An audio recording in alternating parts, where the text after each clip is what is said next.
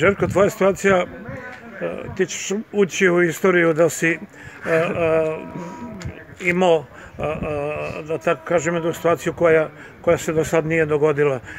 Napravljan je takav prekršaj na tobom, sviran penal, da bi se posto toga dogodio to što se dogodio. Ti samo raširio ruke, došao i ne znam da li si imao snage da mu nešto kažeš. Pa ovako sve se vidi na snimku, jasno se vidi što se tiče tog prekršaja šta je bilo, da, da ne zalazim znači, u to jednostavno. Ja nisam neko ko folira i ko se baca na, na neki najmanji kontakt, on je mene udario i pao sam. On ti ušao u noge. Jeste, udario me i pao sam. Znači, ja sam bio u situaciji gde ili bi šutirao na gol ili asistirao nekom igraču koji, koji nailazi, bio jedan na jedan sa igračem, samo golman iza njega.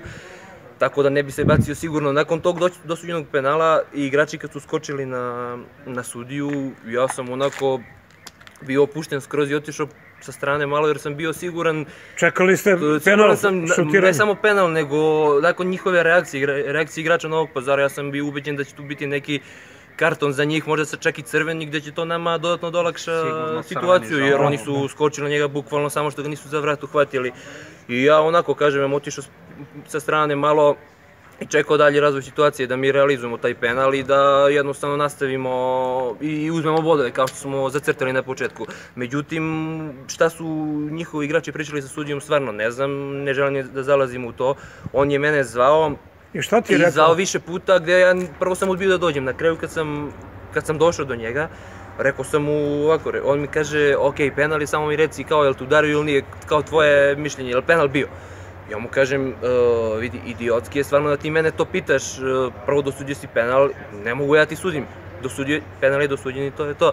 On kao, jel te udario ili nije? Rekao, normalno da me udario, vidio si. I on, aha, dobro, ta, žuti karton.